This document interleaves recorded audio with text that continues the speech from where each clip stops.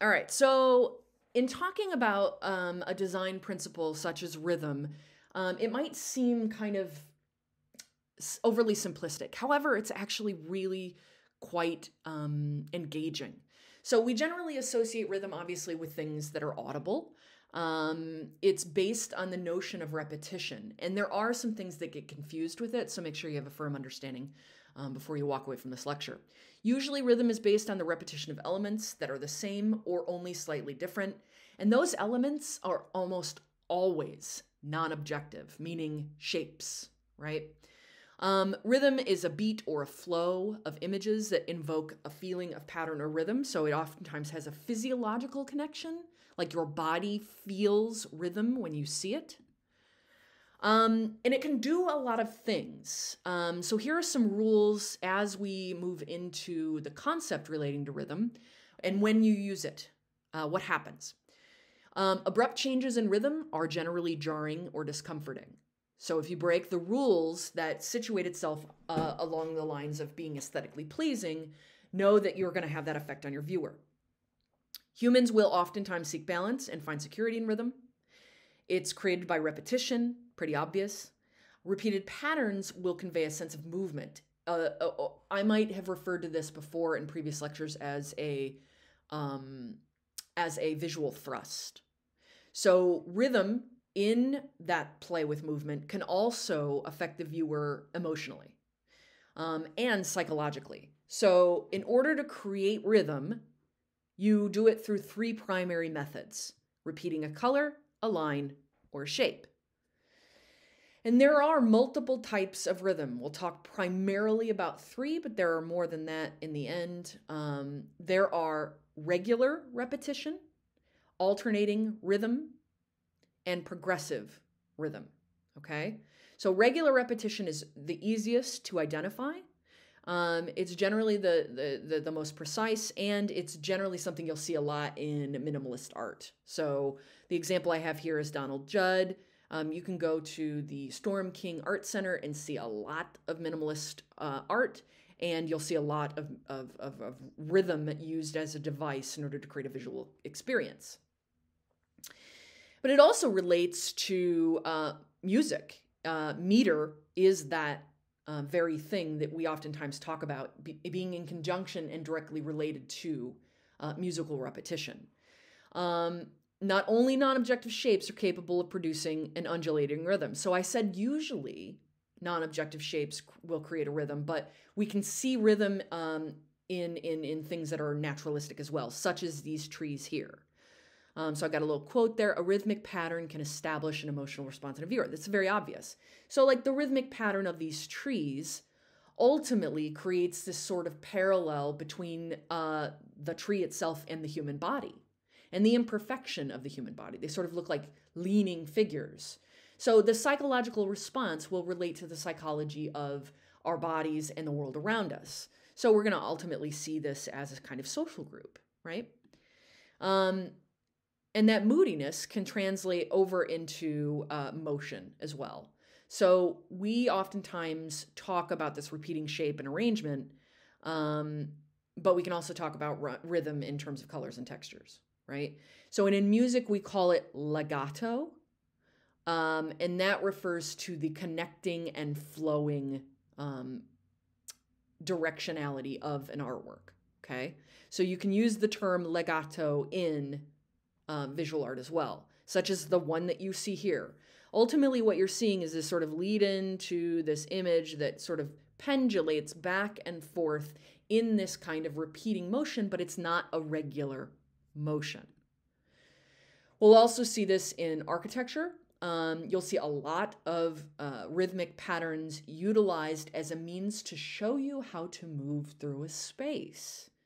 And showing you how to move through a space is ultimately the um, end goal of what an architect does. It teaches you how to move through the space, but ultimately how to lead the life that you lead within that space.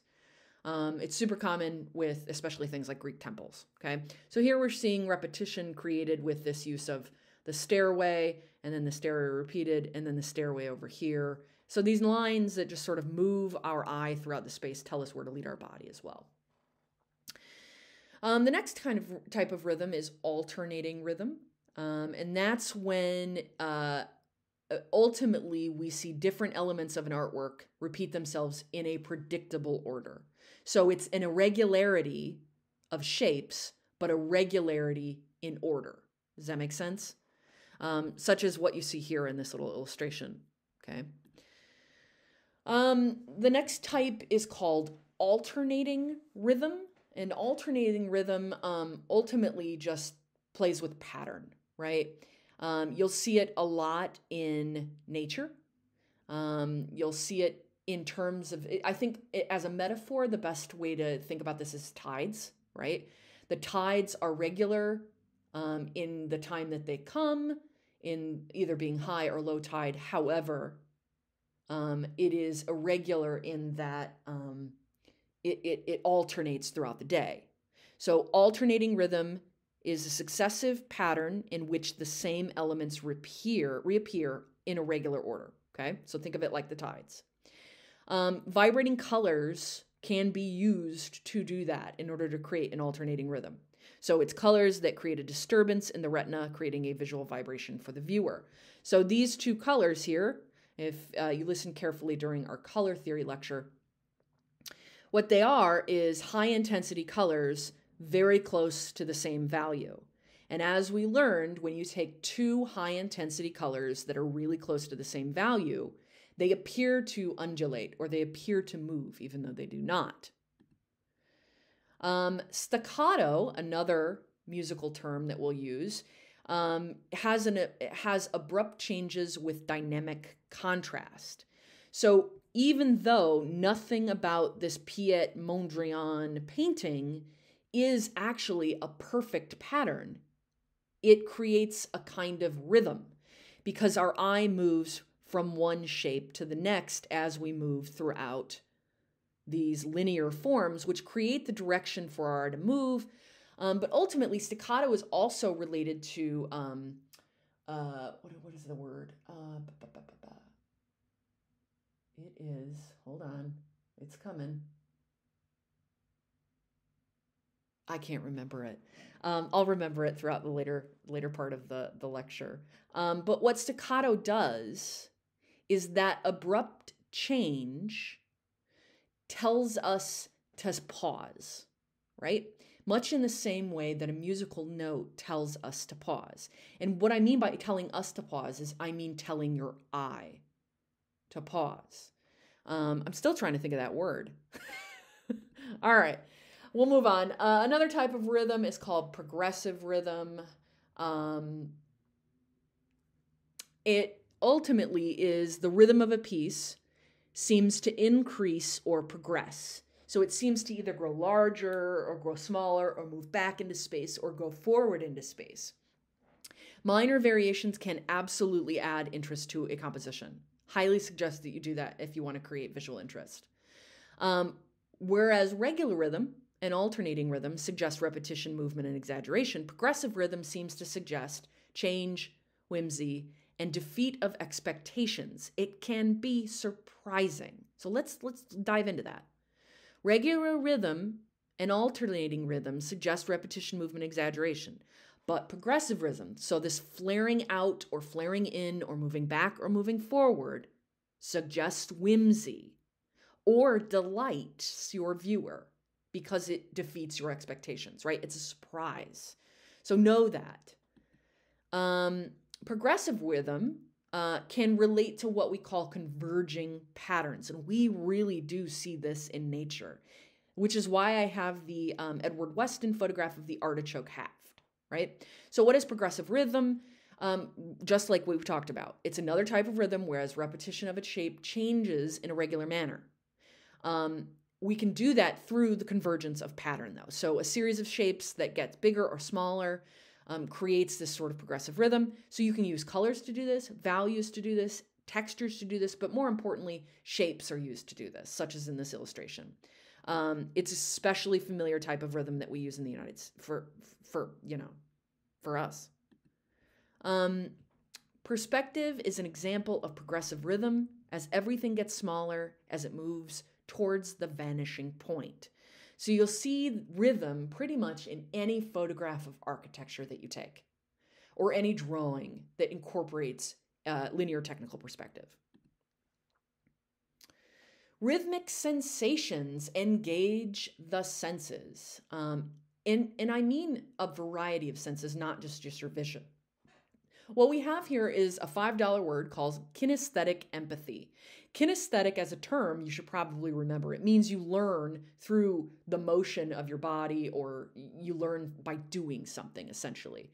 Um, kinetic is a term that's very closely related to kinesthetic, but kinetic means to do, right? To move.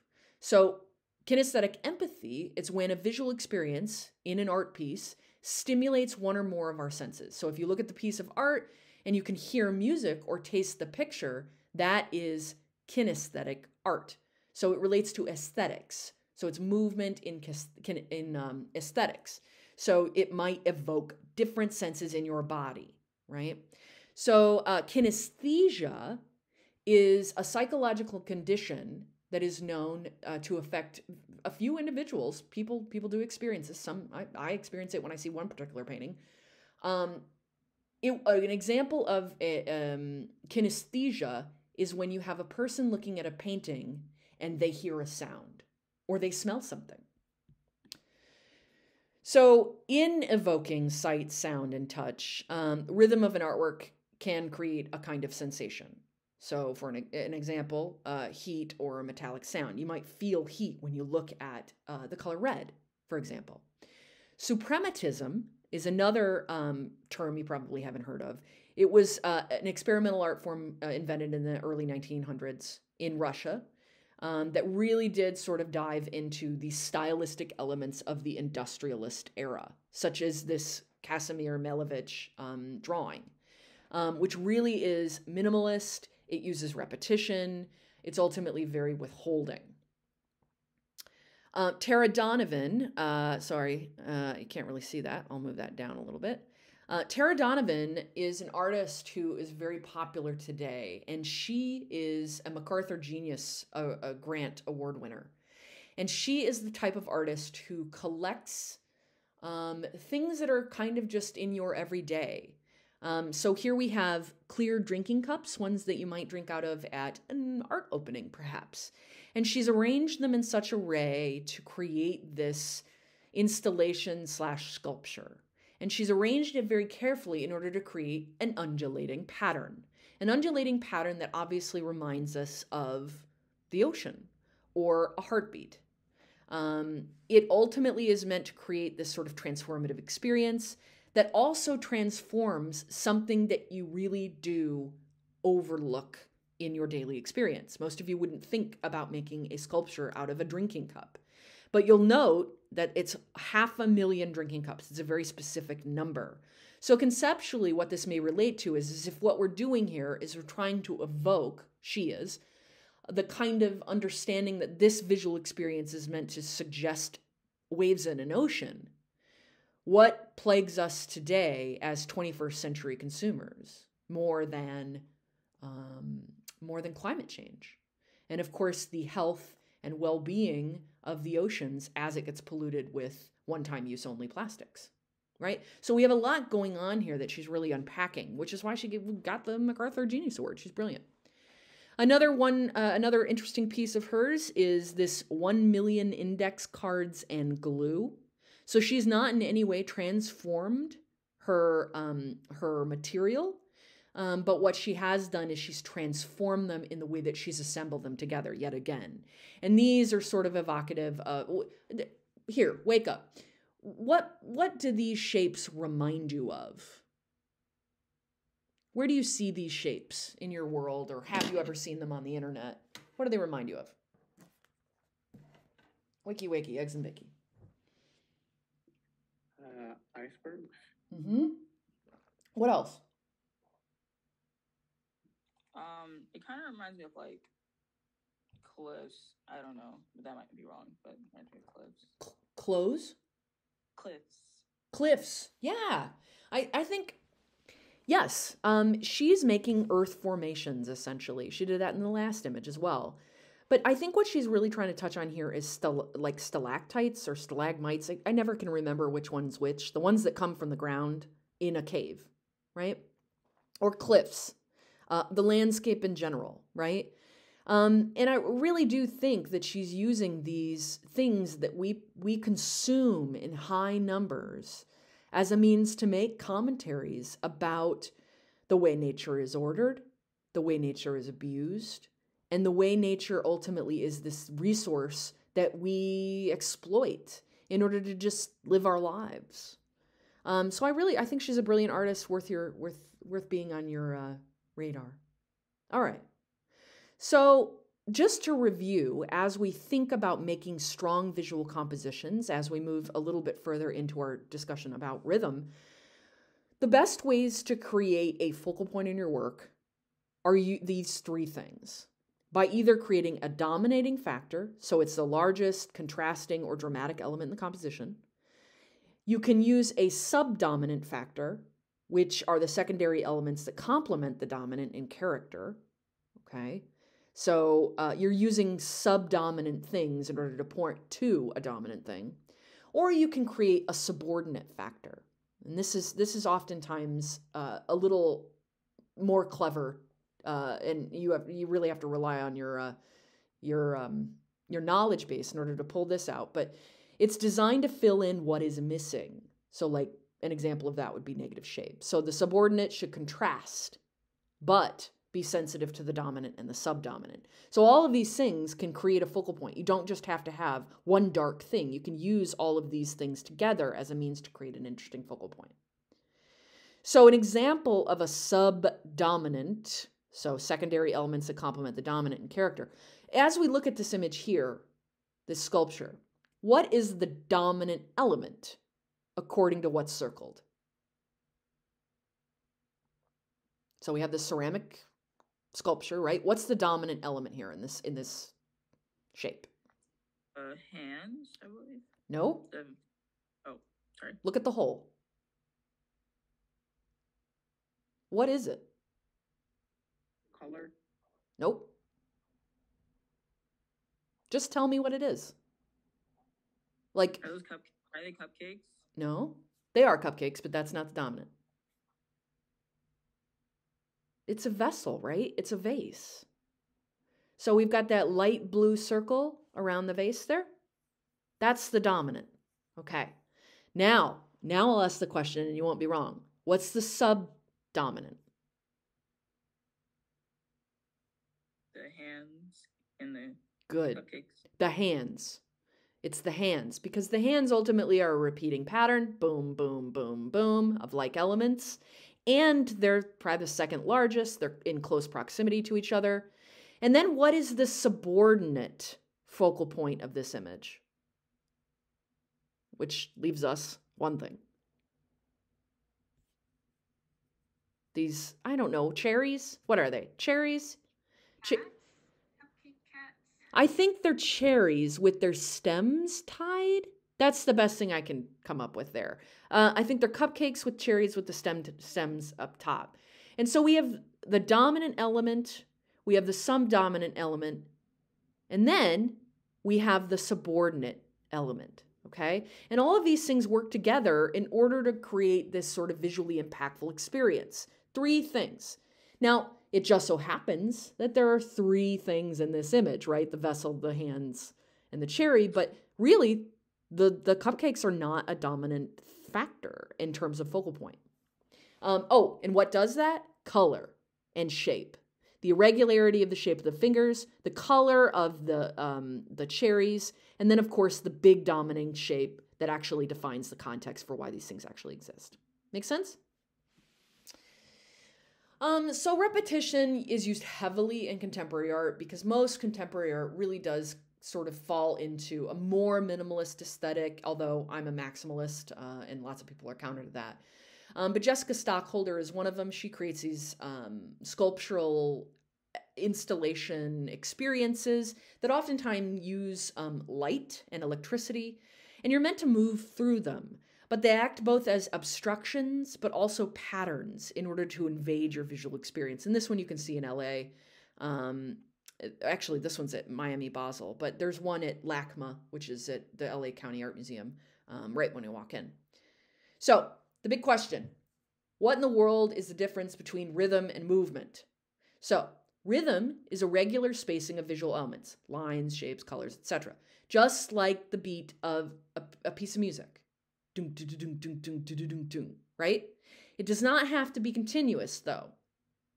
So as long as it repeats, so one, two, three, one, two, one, two, three, one, two is a rhythmic pattern just as much as one, two, one, two, one, two, one, two. Okay? Rhythm. But movement is the path that your eye takes throughout a work of art. So rhythm helps us accomplish, accomplish this. So rhythm is together with movement, but they are two different things. Movement can be created with just a line without relying on rhythm. But when you use rhythm and movement together, you can have a very interesting image.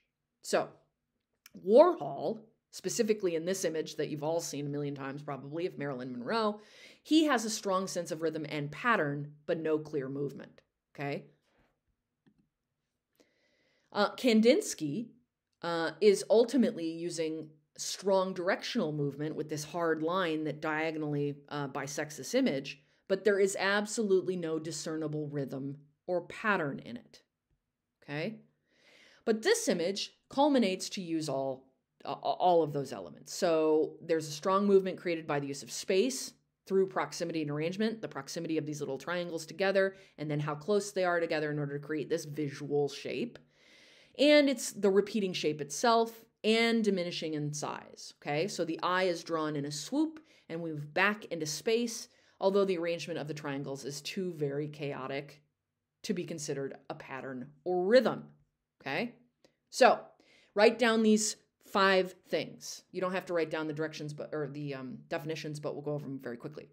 There are five different types of rhythm that I'm going to ask you to identify right after this slide. There's regular rhythm, which is describing an artwork that contains repeated elements with specific order or arrangement that can be measured. So it can be measured. So some regular rhythm examples include evenly spaced windows or tiles, all right? Regular rhythm. Then we have alternating rhythm. Alternating rhythm describes an artwork that contains a repetition of two or more components that are used interchangeably, like this up here, okay? Some alternating rhythm examples include alternating light and dark colors or placing various shapes or colors in a repeating pattern. Now, What's an alternating rhythm example? The tides. When they come and go, they you, they can be regularly expected, however they come at different times of the day, okay? Then we have random rhythm. Random rhythm describes an artwork that contains repeated elements without a specific order or arrangement. Some random, random rhythm examples include splatters of paint or shells on a beach, okay? Then we have flowing rhythm. That generally is an artwork that contains some kind of curved or circular elements that give the art movement itself. So, an example might be something you would see in a flower, clouds, waves. All right. Then we have your last form of rhythm, which is called progressive rhythm. It's uh, just an artwork that contains repeating elements in a pattern that change either in size or color as they repeat. So, progressive rhythm repeats elements in a pattern that change in size or color as they repeat. Um, does that everybody have those? Any questions about those before we move forward? Okay, everybody wrote those down because I'm gonna test you. All right. This Hokusai wave, which we hopefully know very well from our early assignment, what is this an example of? What form of rhythm is this an example of? You tell me, I'm not going to tell you at all.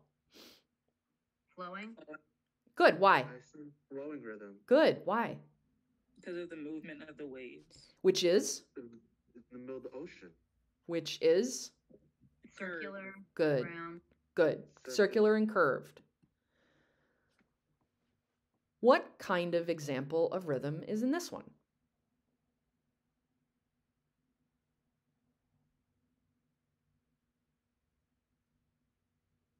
What do you think? Is it regular? Is it irregular? What is it?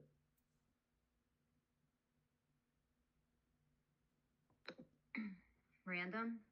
It's pretty random. They're sim- they're similar elements, right? And they're similar elements in shape because of how each curve is dealt with. They're very similar, right? But it's a random pattern of like kind of related shapes, right? Good. What's this one? Reg- uh, regular rhythm Why? because the blue uh, blocks repeat underneath each other. And uh, what about those boxes? They're like in order, specific order. They're in specific order and they're all the same, right? So absolutely regular. Good. Spot on. This Andy World's Goldsworthy photograph. What do you think?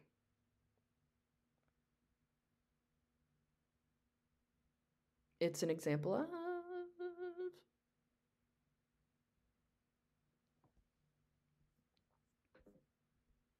Huh? I'm not sure. Uh, Progressive. rhythm, maybe? What's your definition of progressive rhythm? Remind me.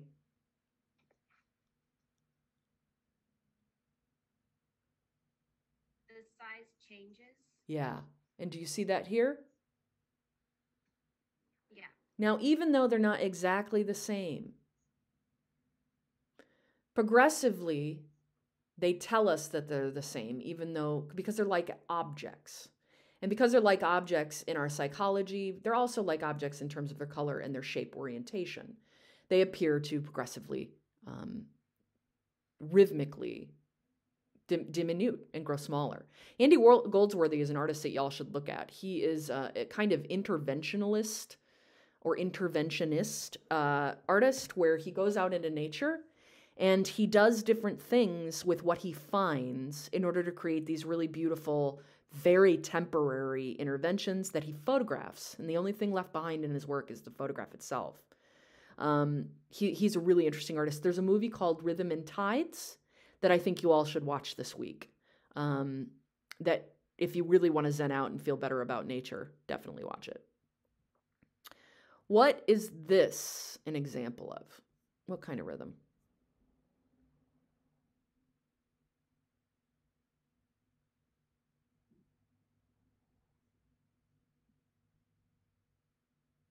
What do you think? um, is it is it alternating rhythm? Tell me why you think that? Um, because there's like two or more components that repeat. Excellent. Good. Very good. Cheers. All right. A few more. What's this an example of?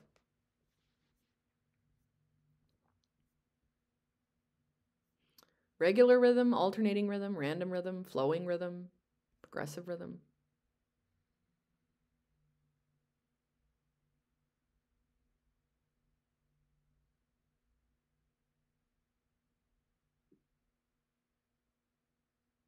What do you think? Is it pretty random? Does it flow? I mean, it looks like it has the same shape repeating. I don't think it looks random. Yeah, it sure does. Uh, is it an alternating rhythm? So, alternating rhythm. It describes an artwork that contains a repetition of two or more shapes that are used interchangeably. What do you think? Alternating? Does that sound pretty accurate? Yeah. Yeah. They're all like shapes. All right. This one would probably be very closely related to that, though, right? Even though they're not, it's not a cubist image, right? So probably the same thing. All right. What's this one? Last one.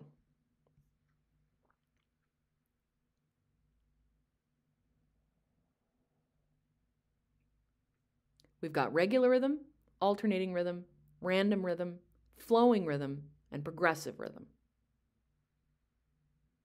It looks like alternating again. I I agree. think. Yeah. Why? It's alternating. Why is it alternating? Change in Um, color. yeah, the color. Yep. And also the directionality of the shapes themselves. So we have two things that make this alternating. Very good. Okay.